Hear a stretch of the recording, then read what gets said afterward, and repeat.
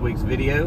We are obviously in my truck, Andrew and I, and our tent is in the bed of the truck because we have found somebody to trade tents with. So, trading with a guy from Pensacola, which is about three hours from us, but we're meeting halfway. And um, he's got a two-person hard shell, and he's looking for. A, he had a fold out, wants another fold out, and he wants a bigger fold out. So I think it's going to work out for both of us. But we're on the way to meet up with him and let him look at each, him look at ours, ours look at his, and uh, we'll go from there. So stay tuned as we uh, possibly get a new tent today. The two Yeah. bolts at. You have them. I got the nuts. Oh, I don't know. That'll I hold. it, I got it. Surely that'll hold.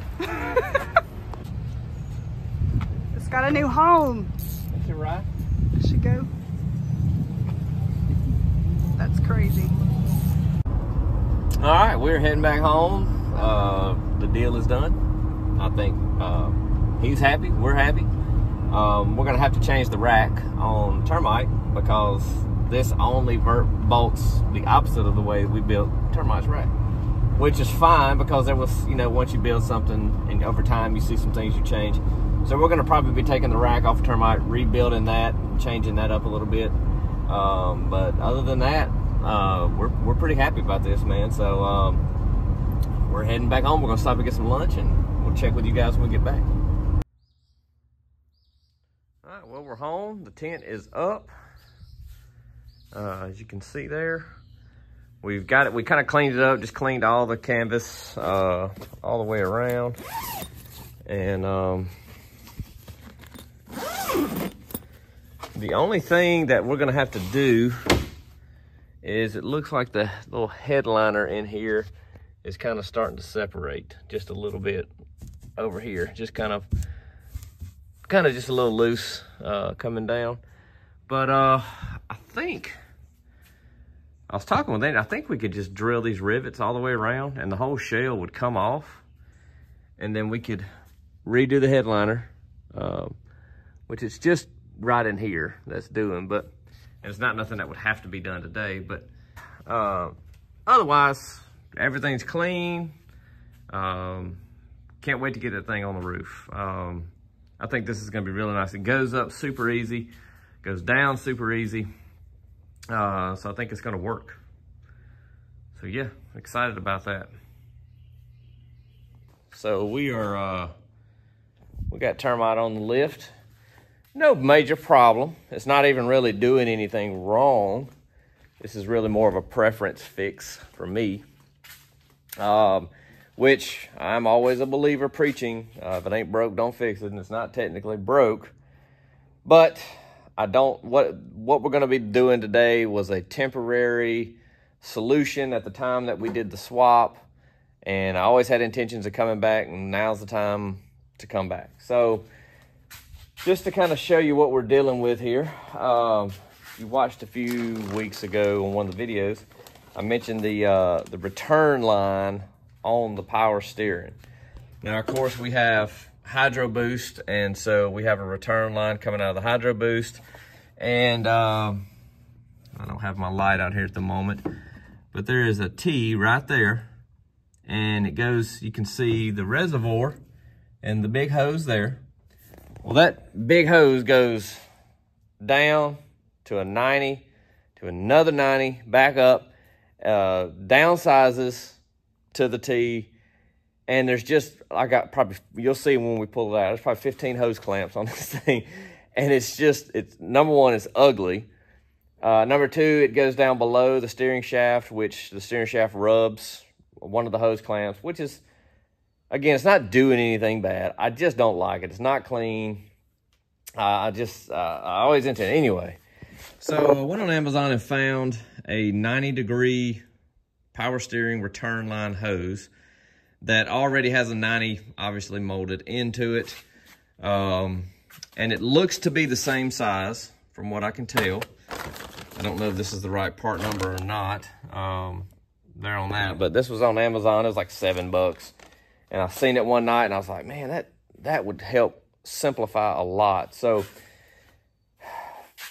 I'm gonna get termite up in the air. My plan is and pull that hose, drain the part I'm not looking forward to the most, drain all the the fluid out, and start trying some way to fit that. It's just real close proximity between the reservoir and the tee, but the size of the return line is so much smaller than, than that one. And I don't know if this is going to fix if I say there was a problem, and I don't even know if this is a problem. Anybody out there, please comment if you've done a Hemi swap with the the early model uh, Hemis. This is an 08 pre-Eagle head, and I think it's the same pump. I know my 09, my Ram has the same pump, but the pump is noisy. Um, I don't know if that's because of the hydro boost or what, but when when you're sitting still and just right off acceleration, you can hear the pump pretty good. Uh, now, when you're driving and up speed, you don't hear it at all. It turns fine, it stops fine. It's not jerking or, or nothing like that, but you can just, it, it sounds like it's got air in it. But we've put over 3,000 miles on this swap, and it's hard for me to believe that there, there would still be air in it after 3,000 miles. But uh, I, don't know. Uh, I can hear the pump on my Ram faintly. If I really listen for it, I can hear it, but it's not and I don't know if it's just because these don't have the insulation and all that kind of stuff, and you can just hear a little more stuff in the engine bay. I don't know. But I've back of my mind, I've wondered if I if I can get a smoother flow of of return back to the reservoir, would that maybe kind of help some with the noise? I, I don't I don't think it will. But anyway, I rambled enough. That's what we're getting into today. I've been putting this off and putting it off and today's just a good day. We're going to tear into this thing. So anyway, let's get to it. All right, you can see we got our reservoir. You can see the 90, the other 90, and then it goes up to the uh, adapter and then on up to the T. So you can see I've got it zip tied as well to keep it off the steering shaft. so like I said, it's it's worked. It has not leaked. It's it's you know served its purpose. But I uh, I knew when I did it, I was like, this is just to get us driving, get us going.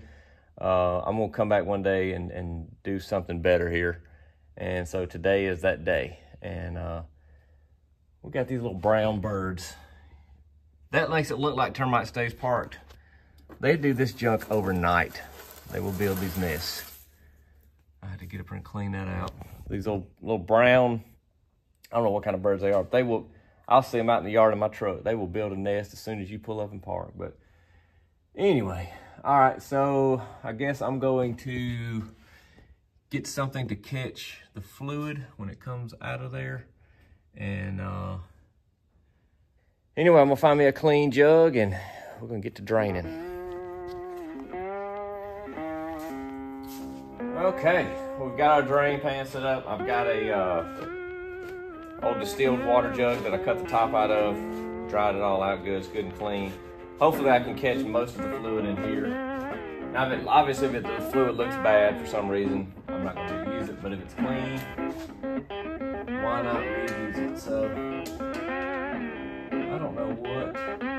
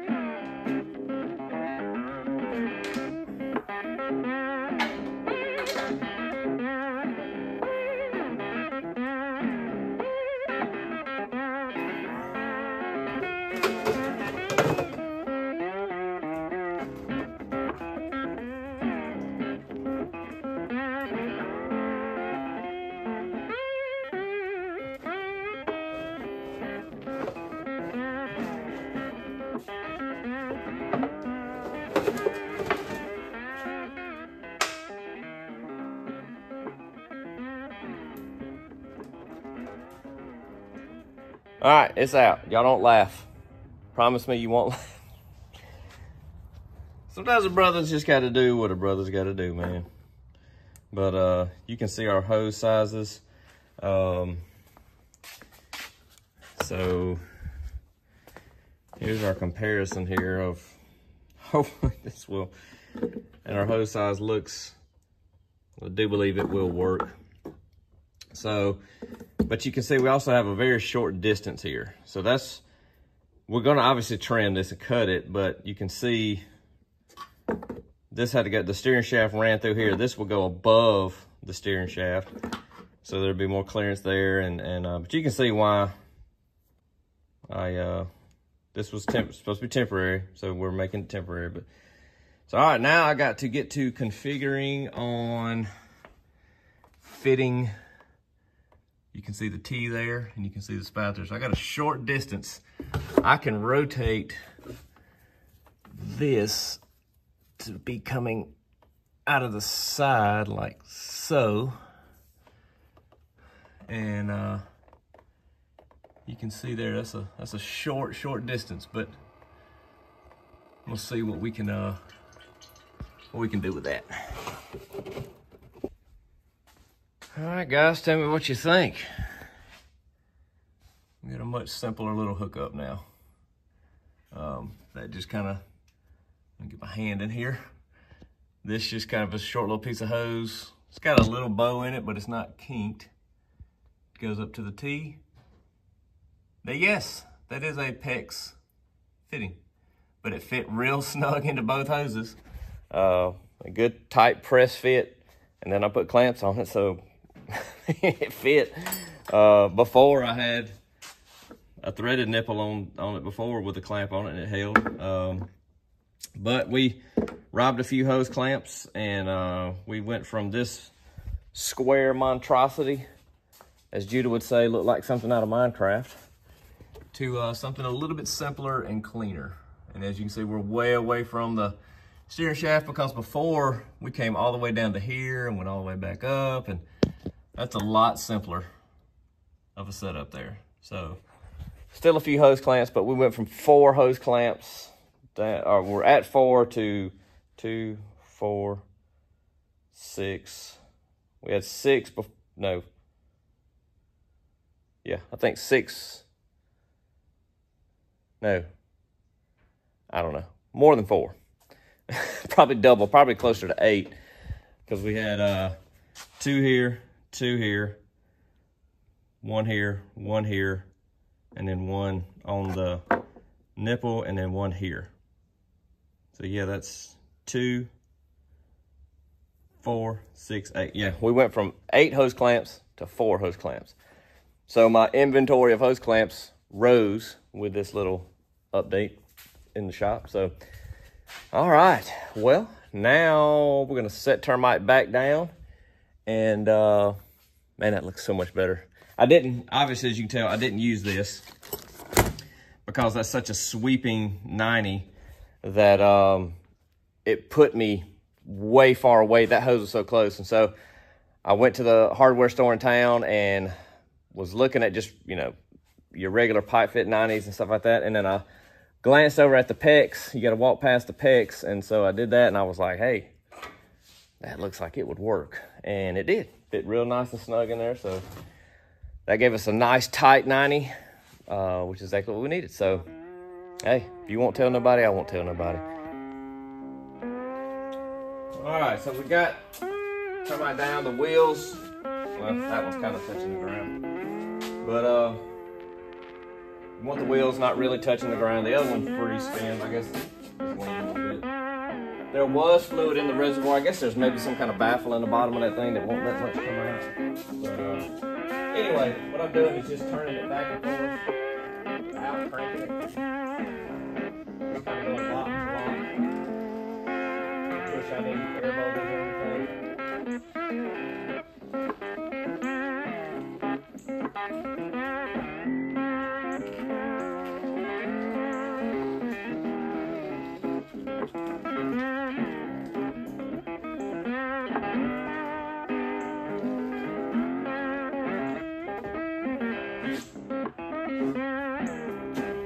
That a few times.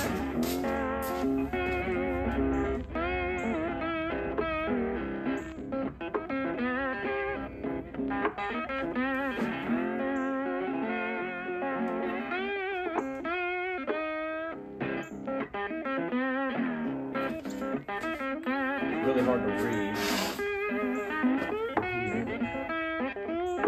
So I'm gonna crank it up and uh, let the pump run circulate just a little bit. Push air out.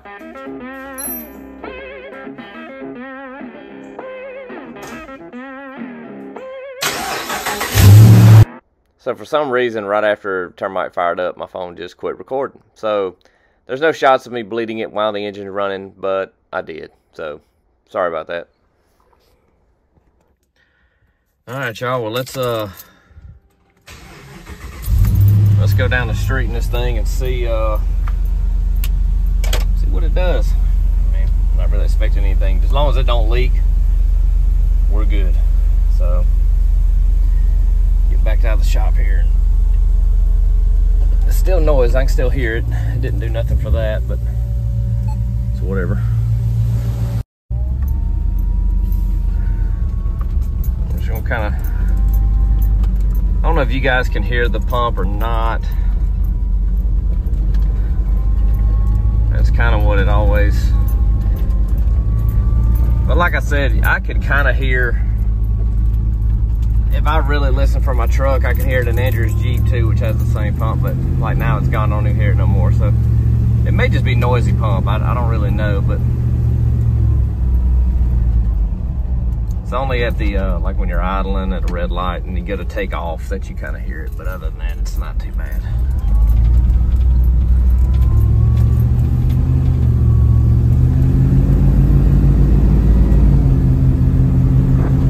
I've been driving date night for the last few days. And then jumping into this with the Hemi, it's like way more power. Way more power in the Hemi. But uh kind of forget about it.